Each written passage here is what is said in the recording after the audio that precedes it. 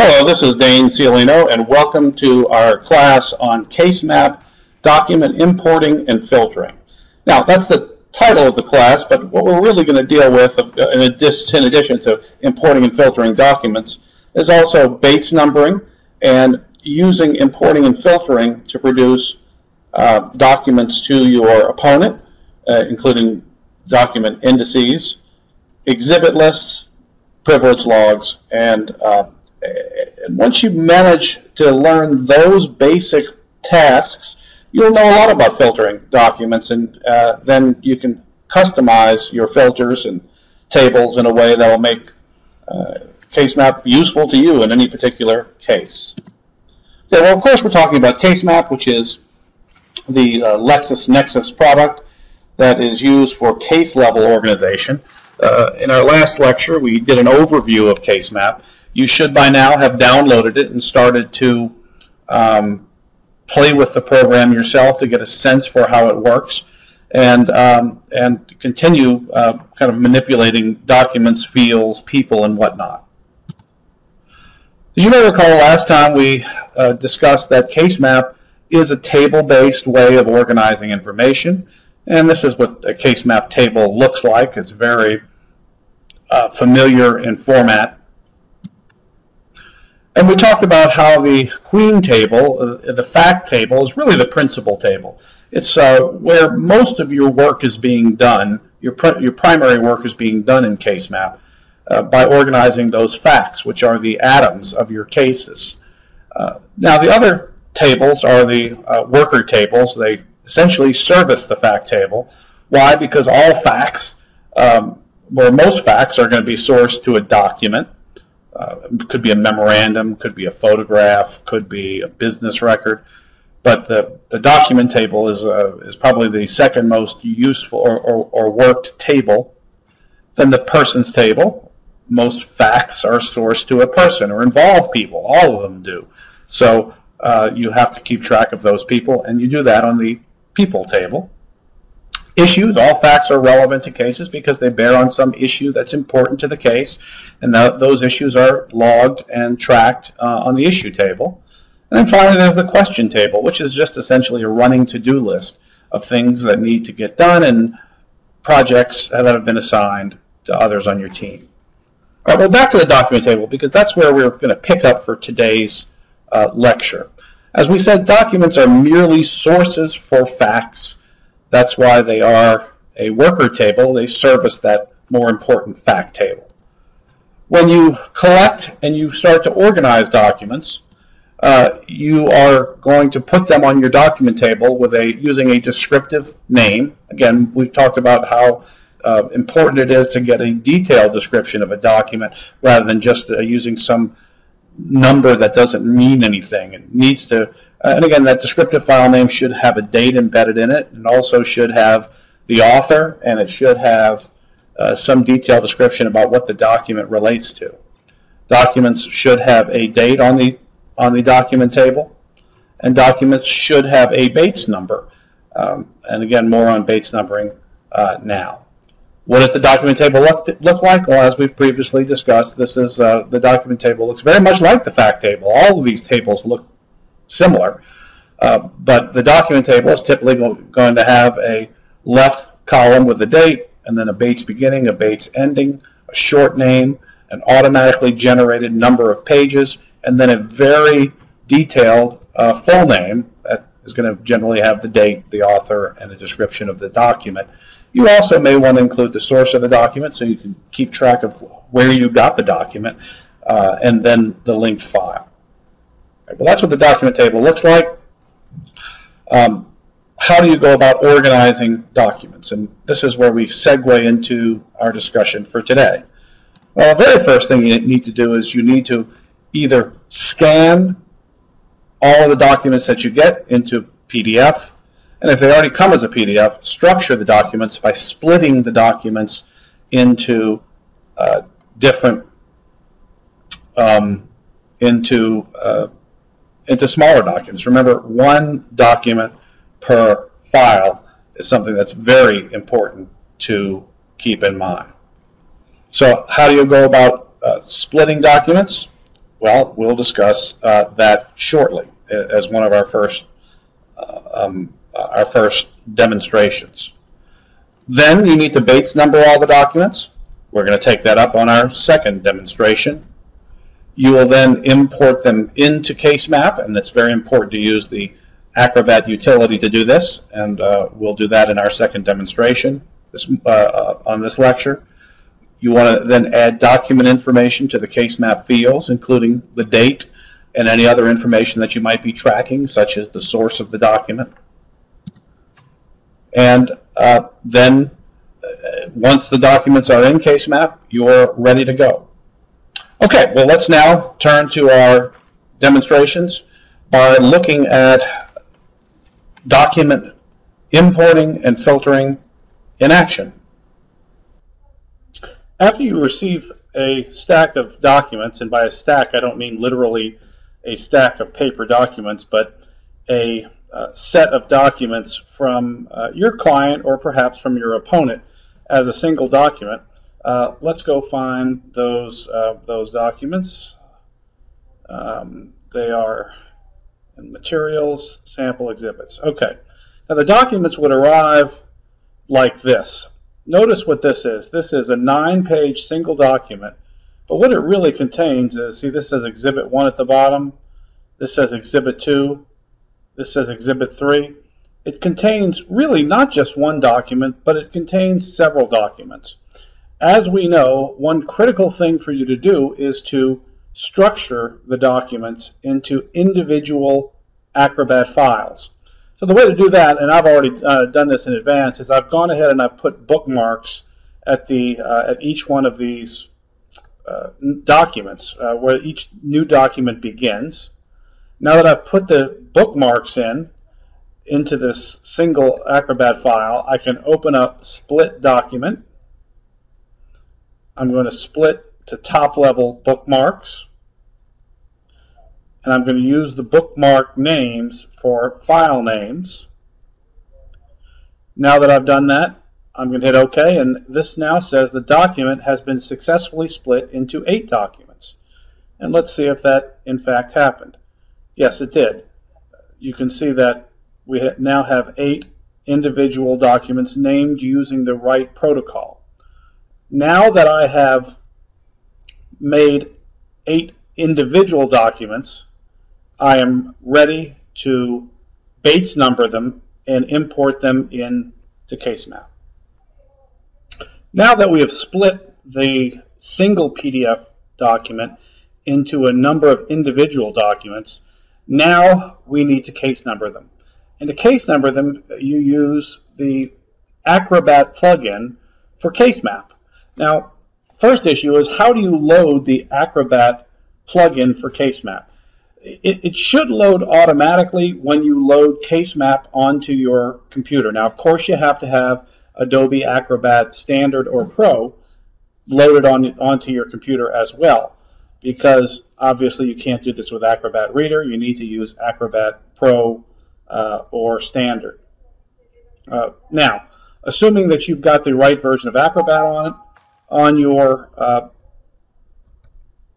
on your computer and assuming that you have just loaded CaseMap, once you do that, then this plugin should automatically appear and give you a number of options.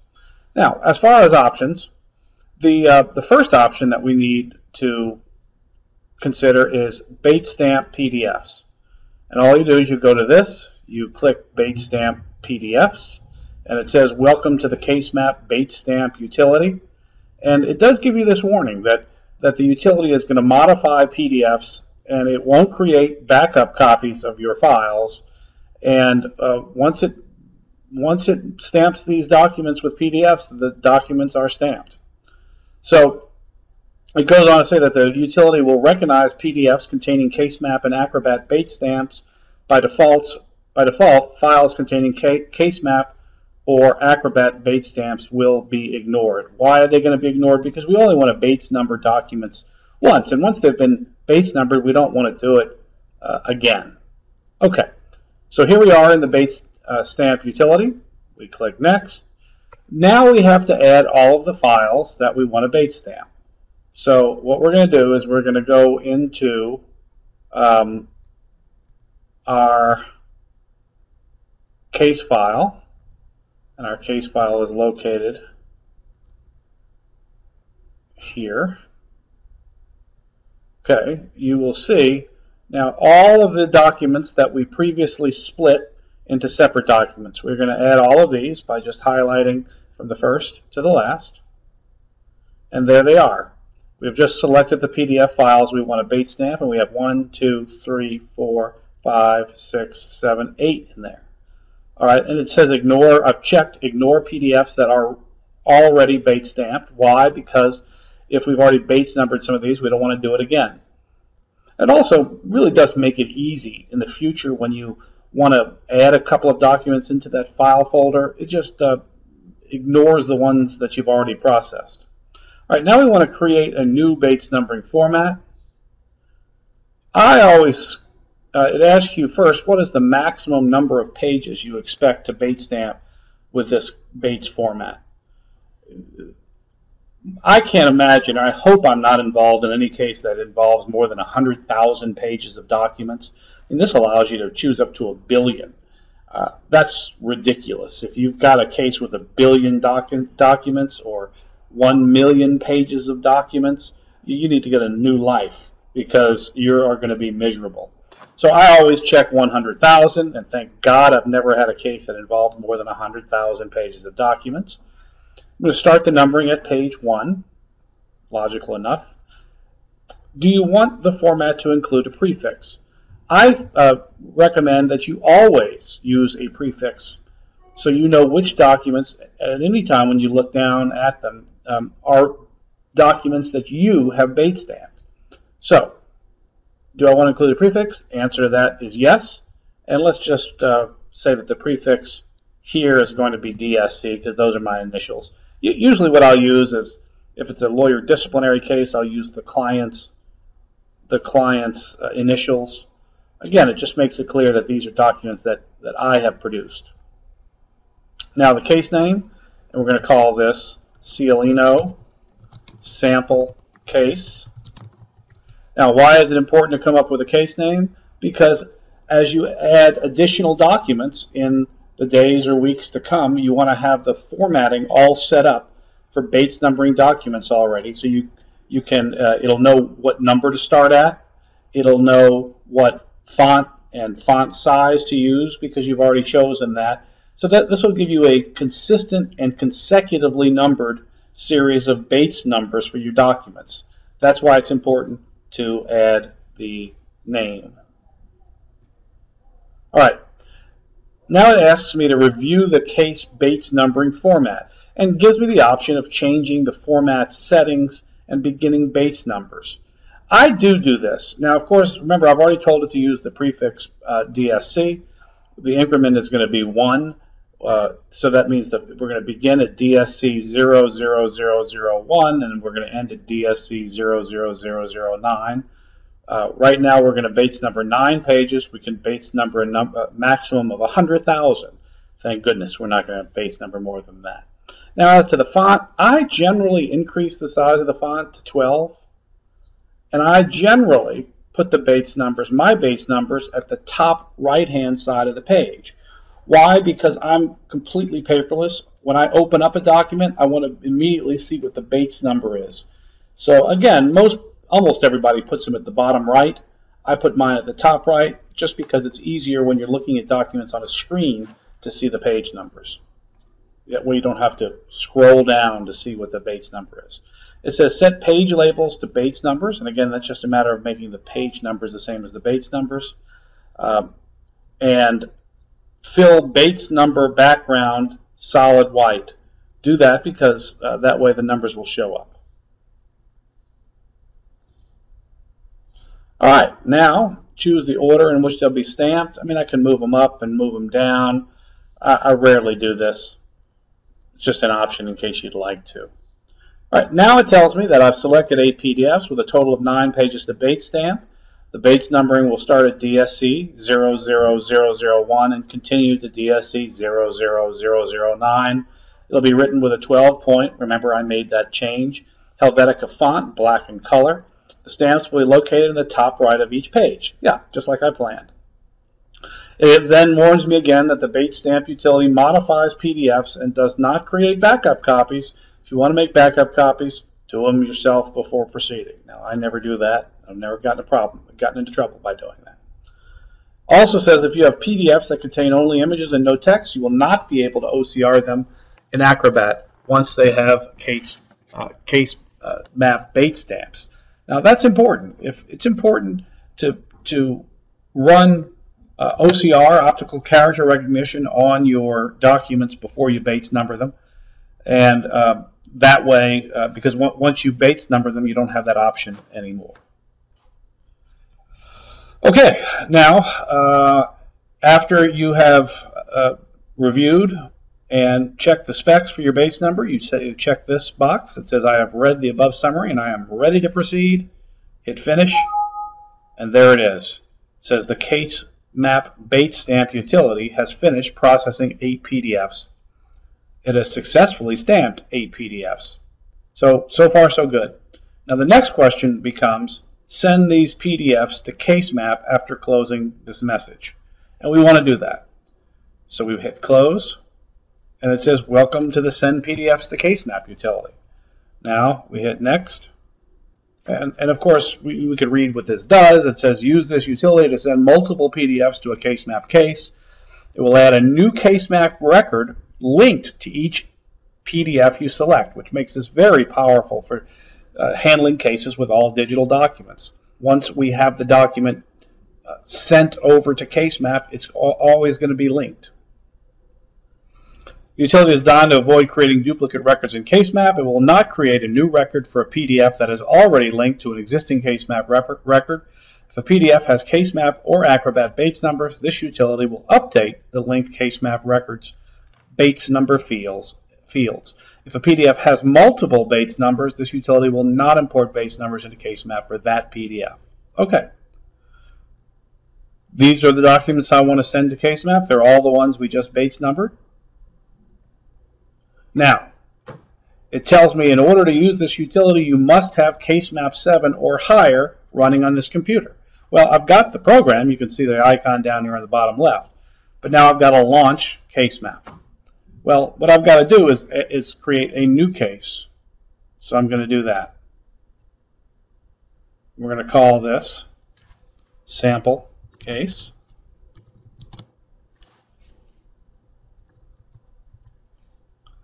And then it's going to ask me where to put it.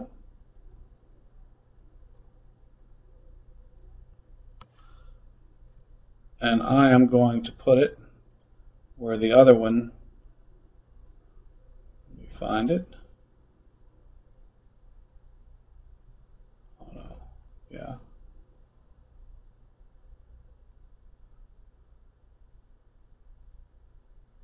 Where are my documents? There we go.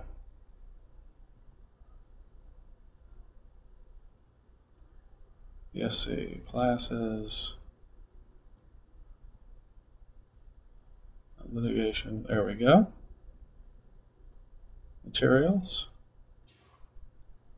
sample. Okay, I always create a, form, a folder in my case file called work product, and that's where I always put my case file. So, okay, I've entered the name for the case file. It's called sample case. I'm going to put it in the folder, the work product folder, and um, here we go. Okay, I've just created a new a new case map file called sample case. Right now, you see there are no documents in it. There's nothing in it. There are no facts, no uh, people, no documents, no nothing. So what I need to do, of course, is I need to, now that I've opened up a new case map case called sample case, and I want to put these documents on the document spreadsheet, I hit next. Now, it'll ask me what information to put where in case map.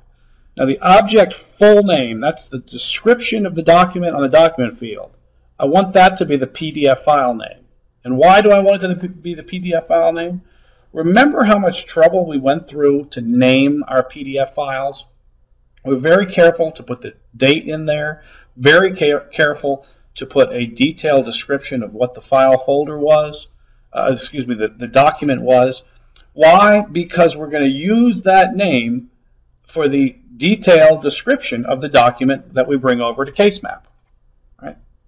Now, the object's short name is going to be the PDF Bates number beginning. Uh, why is that? We want to have as few identifying markers on documents and numbers as possible. You know, sometimes in cases, some lawyers will have a single document will be Exhibit 3 in one deposition, it'll be Exhibit 2 in another deposition. Uh, it'll be referred to by Bates number in another deposition. I want to refer to a single document by the same number across depositions. I don't want to give it new exhibit numbers. I'm always just going to call it by its short name. And its short name is always going to be the PDF uh, Bates beginning number. So that's why I'm going to set the object short name to the PDF Bates beginning number, and then I'm going to hit next. And it says you have eight PDFs selected to send to the document spreadsheet in the following case map case. It's sample case, eight of them have PDF numbers, and press finish. All right, now it's processing the records, and it says the bulk send to case map is complete. A total of eight records were processed from document previewer. Eight new records were added to case map. So where, how do we know that? We go over here and we open up documents and there they are. You can see that the, uh, the file name has now become the full name. The short name is the uh, Bates number, the first Bates page number, and then it automatically tells you uh, how many pages we have. Now, we can add additional fields, like for example, and what I've done here is I've just right-clicked on this full, on this bar up at the top, and it says insert fields. I'm going to insert Bates beginning and Bates end just to show you those. And I'm going to insert the date field. All right. Now the date field, the way that I usually structure my document pages would be like this. All right, so what we have, now that we brought these documents over, the date field, the full name field, the Bates beginning, the Bates end, and the short name. You can see the short name is always the same as the Bates beginning. See how very organized this is. Now, the next thing that I would do, now that I've brought all of these documents over, I could sort these documents chronologically by date by just sorting ascending here or descending if I want to go in reverse chronological order. Why? Because the full names, just like the file names, begin with the date in the format that we've previously discussed. But you know, usually I will fill in, I will populate the date field, and it's very easy to do. Here, 01, 25, 12, excuse me, 12, 01, 22, 12, 01, 18, 12, 11, 02, 12, 10, 26, 12, 10, 19, 11. Well, actually, I made a couple mistakes, but I'll fix them. 09, 25, 11. 09, 17, 11. Now I need to fix the ones that I put 12 in, right? This is 10, 26, 11, 11, 0, 2, 11. Okay, now you can see what I've done is I've now populated this field and I've got all the documents that I can now sort using this date field. Nice thing about this is it also fills in the actual day that it happened and it does that automatically, uh, which is nice. Now, uh, there we have it. We have Bates numbered eight documents. We have imported them into CaseMap using the CaseMap uh, import feature. Uh, we now, because we've imported them into CaseMap, we now have these little paper clips on the far left. The beauty of these paper clips is this. It allows you to click on the paper clip and open the document. There it is. Now you can see the document, now that I've opened it, has got the Bates number on the top, and it's got our full document. So uh, there it is. We have successfully imported eight documents. Before we did it, we Bates numbered them. Once we have the import, that gives us a link to the document using the paperclip that we can then click on and open in Acrobat with uh, the Bates number up at the top left. And there it is. Now that all the documents have been successfully brought into CaseMap, and importantly, since we have brought them in using the CaseMap plugin for Adobe Acrobat and have all of the source documents linked, and we know that they're linked because of the paperclip. Also, if we wanted to look at this individual file information, we would uh, could scroll down and see here on linked file exactly where the linked file is. Again, we kind of, we know where it is, but that gives us the ability to check it. And, and, and assuming that we've done that, and this is what's so critically important, you have to have done that, uh, have the paperclip on the left hand column in order for what we're going to talk about now to actually work. And what we're going to talk about now is how you would go about producing these documents to your opponent. One of the most unpleasant things about lawyering is discovery, producing documents, answering interrogatories. As unpleasant it is, as it is, it's an absolute necessity in civil litigation. There's much less of it in criminal litigation, but it's an absolute necessity in, in civil litigation. So you need to know how to do it. Well, that's the bad news is it's unpleasant. The good news is, is that if you have used CaseMap to import all of your documents, then it becomes a task that is pretty easy. Why? Well, because all of the documents in the whole case are here on the document table. What you now need to do is to decide which one of the which of these documents you want to produce. Well, to do that, um, we'd look at the documents, look at the requests for the documents, and find which ones are responsive. And then what I would do is I'd come up with a new field. And the new field, the simple one, might be, um, let's see, it might be produce to, we'll just call it produce to opponent. And then we're going to make it a check mark, a checkbox.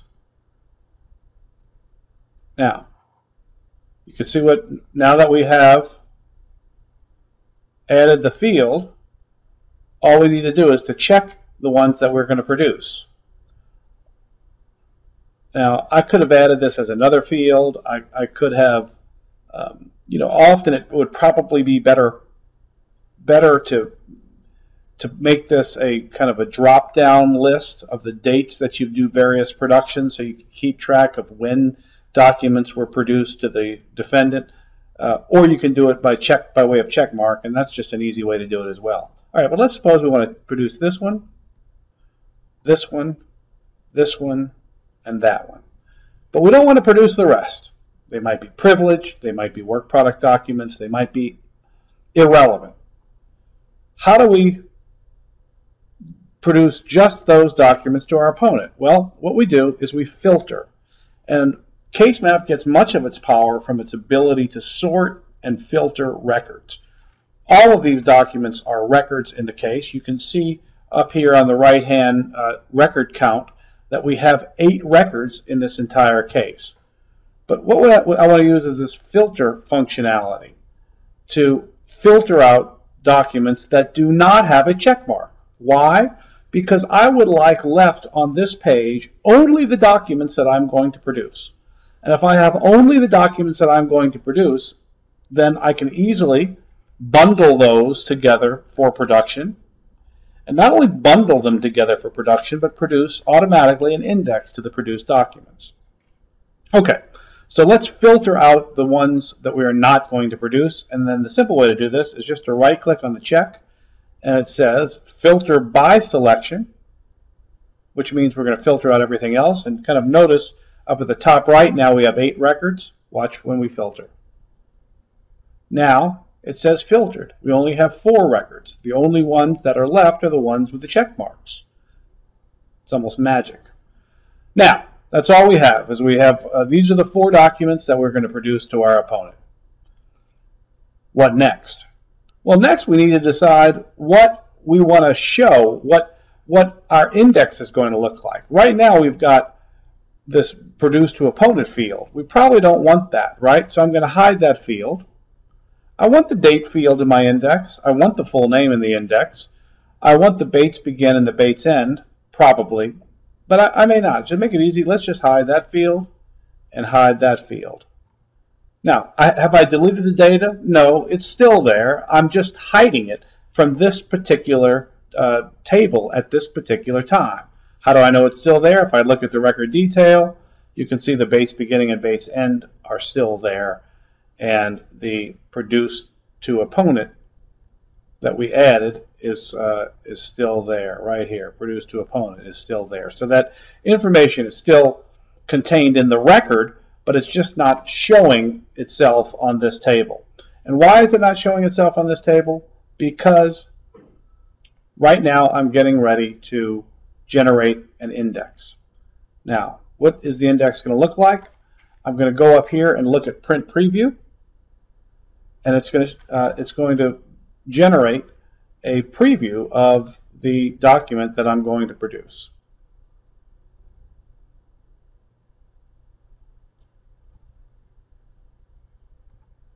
There it is.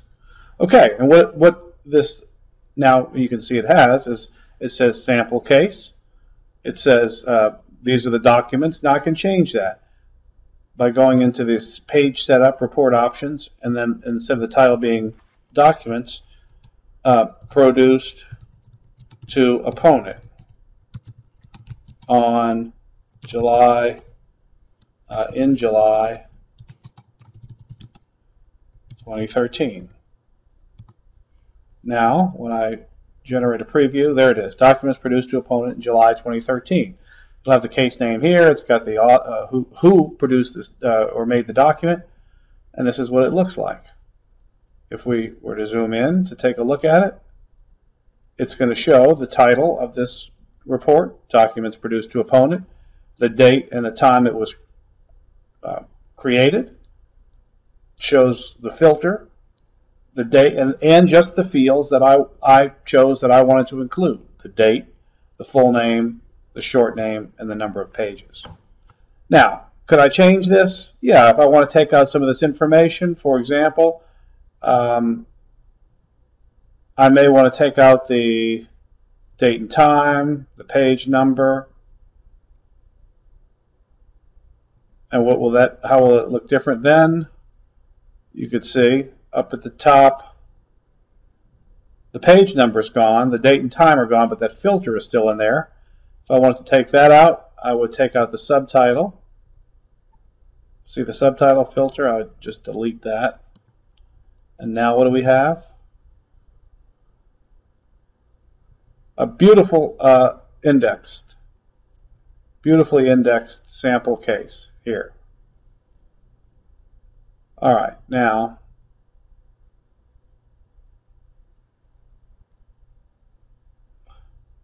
Okay, here's our index. Now, the nice thing about the index is what we're going to do is we're going to print this index to PDF. And we do that right here, print to PDF.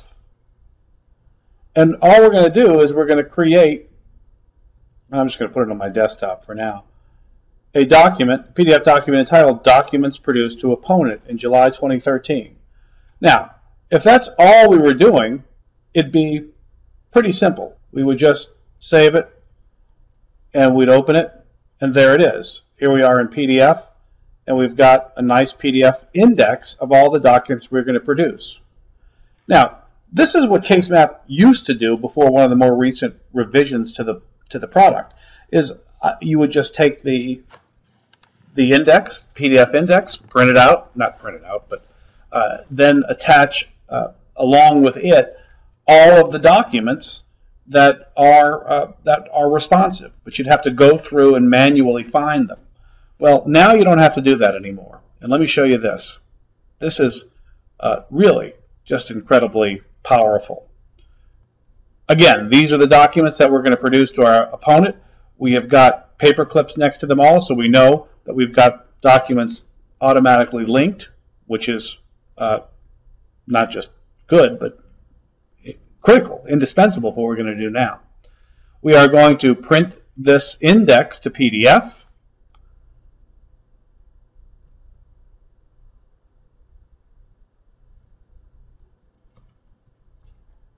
We're going to put it on the on my desktop.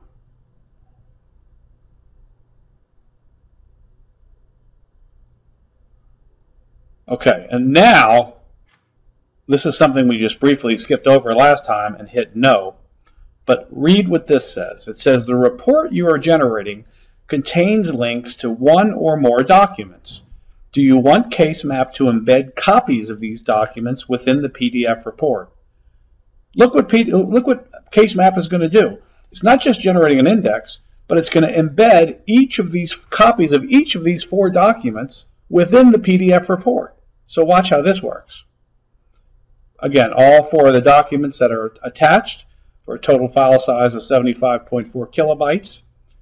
And the report has been saved as an Adobe PDF file. Do you want to open it now? And we open it. And here it is. Well, this looks pretty much the same, doesn't it, as what we just saw. It is a um, PDF file. Got, it says documents produced to opponent. Doesn't have the the uh, the date on it anymore because we removed that, or the subtitle. But look what's different about it. It has paper clips on it. And look what happens when you click on the paper clips. The documents are linked to the index. Now, where are they? Well, notice that they have paper clips, and notice this paper clip over here. This paper clip opens the attachment pane.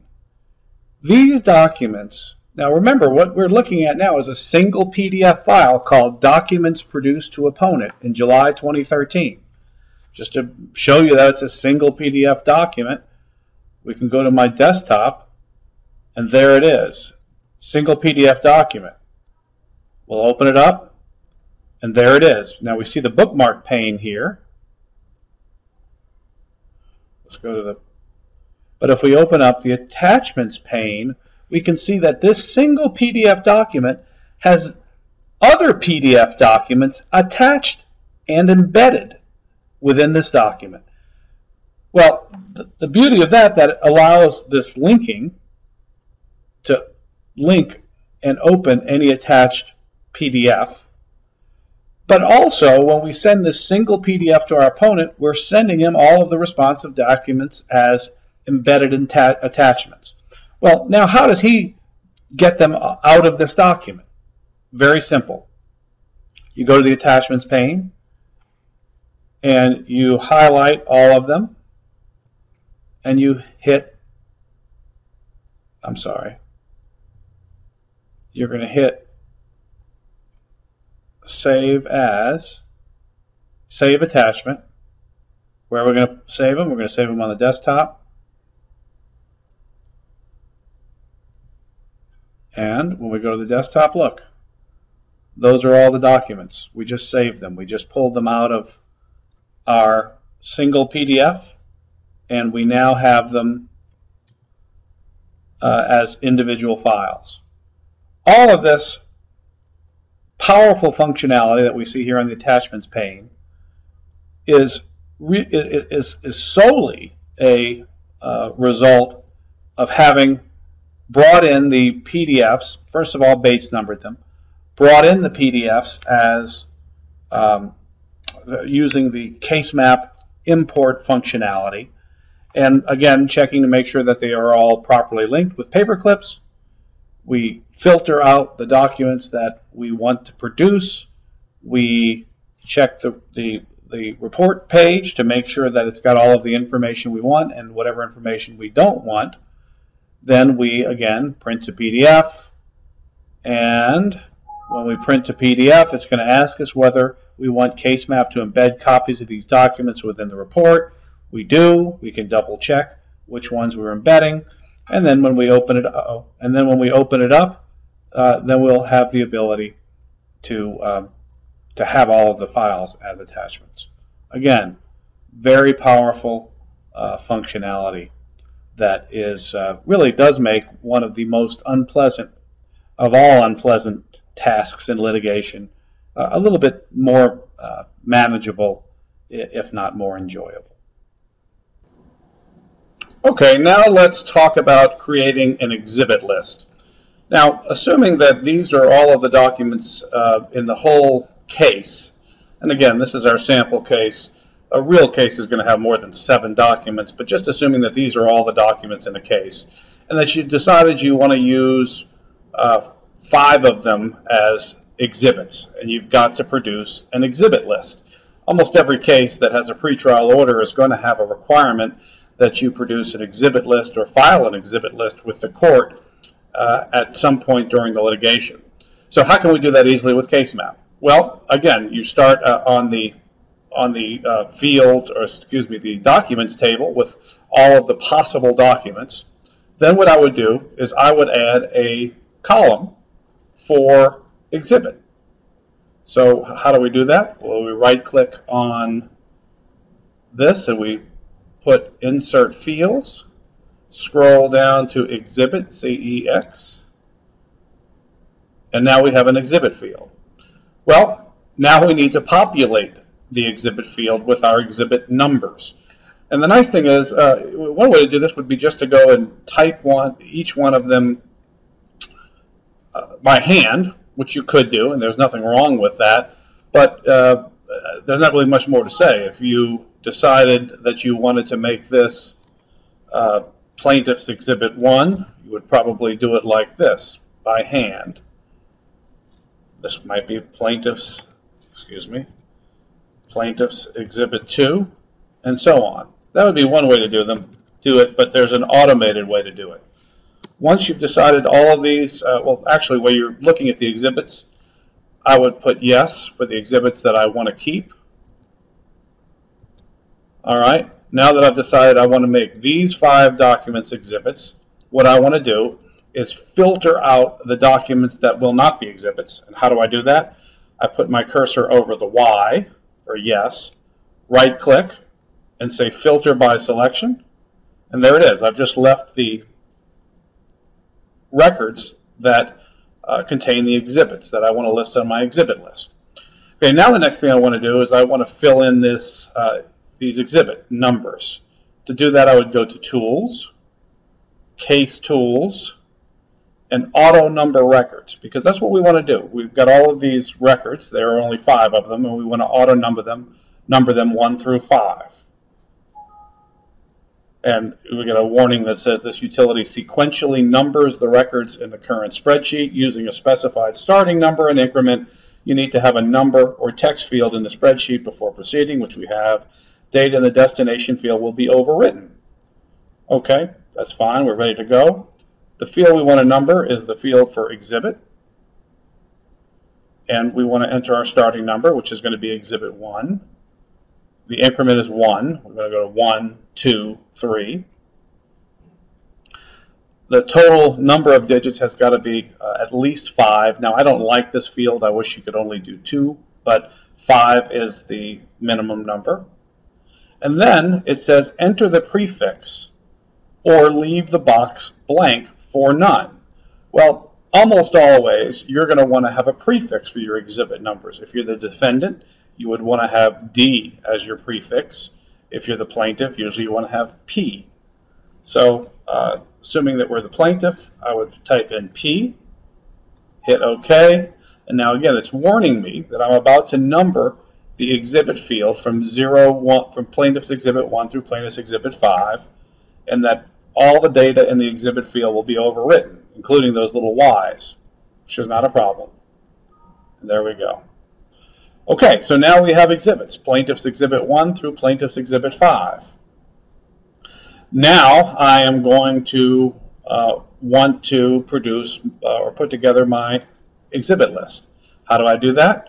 Well, again, since I only have plaintiffs uh, exhibit 1 through 5, remember I've got it's filtered. There are three documents that are not numbered as plaintiffs exhibits and won't will not be listed on the exhibit list.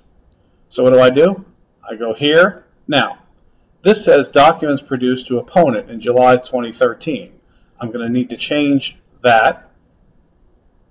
And I change the report title to Plaintiffs Exhibit List. And now it says Plaintiffs Exhibit List. And it lists, as you can see here, just the exhibits. Now, what I would probably need to do is, I, since it's an exhibit list, I'm going to want to sort them by exhibit number.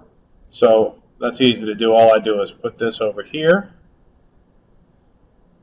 Now, see, I've put as the leading column the exhibit, and I'm going to sort ascending.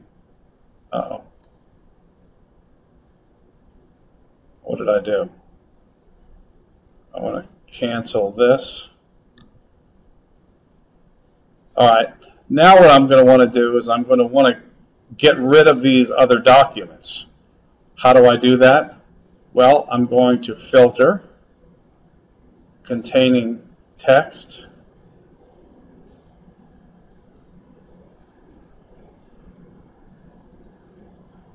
Exhibit. P. Okay. I want to cancel that. I want to filter by selection P. There we go. Okay. So right now I've just filtered uh, and I've kept only those documents that have the text P. Now, just for the future, I want to save this, and I'm going to call this plaintiff's exhibit list. Right, so once I cancel it, if I want to apply it again, I just go filter, my saved filters, and that, here it is, plaintiff's exhibit list. And there we go. We have just the documents that are going to be on the exhibit list. Now I hit this and let's make sure that it, it is correct now. And it is. Look, I've got the exhibit number in the first column on the left.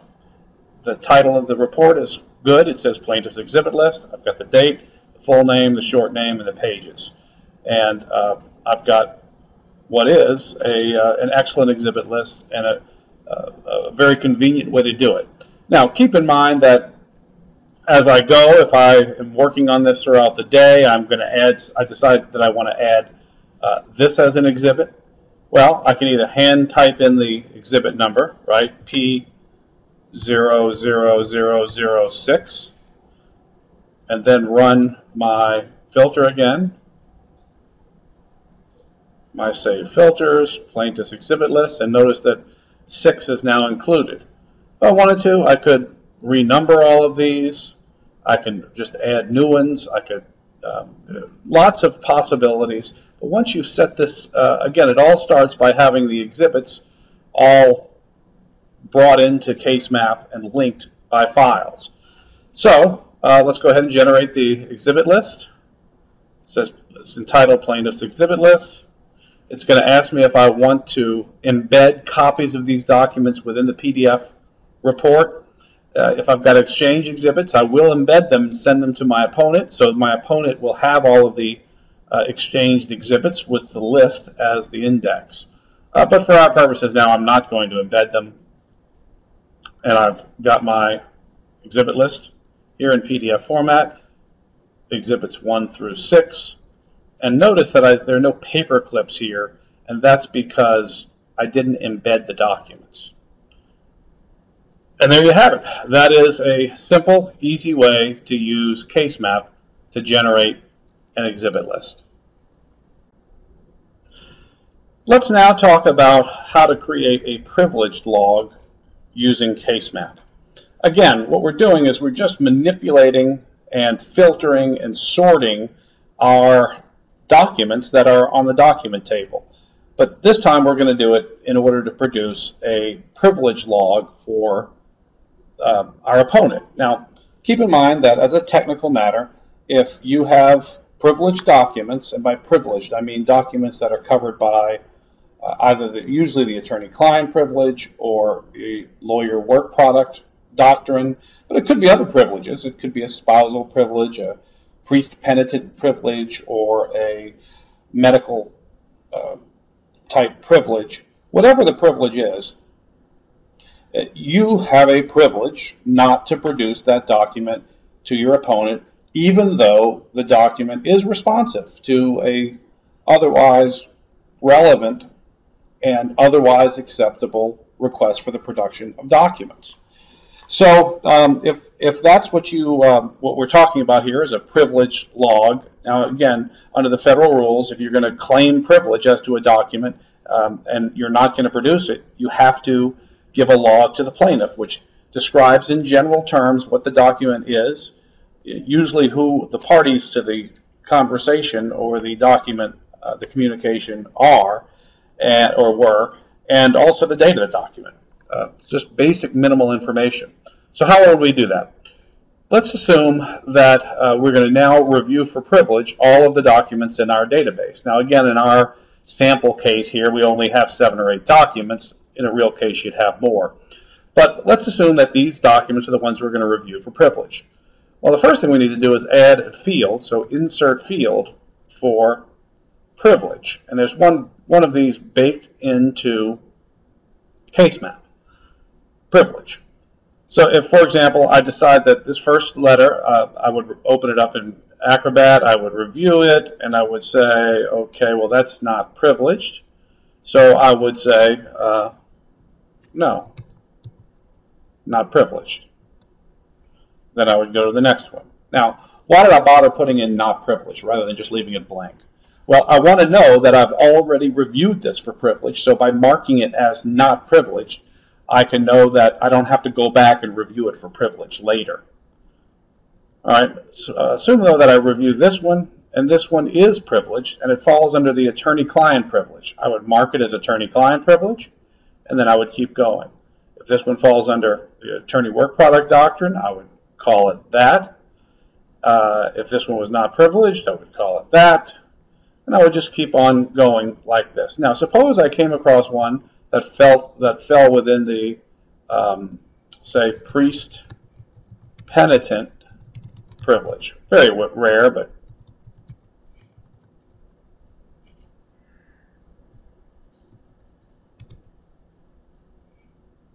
sorry, I'm misspelling it. It's going to ask me if I want to add that to the list, and the answer is yes, I will.